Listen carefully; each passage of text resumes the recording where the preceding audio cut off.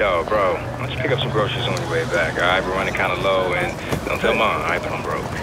Son, while you're living in D.C., we have to set some ground rules when your brother comes to stay with you. I've been patient with you, Aiden. We need those schematics by 10 a.m. tomorrow, or else we need... Mark is your responsibility. Come on, Aiden. Aiden, this is your mother. Pick up the phone. Aiden, pick up the phone, man. Aiden. Aiden.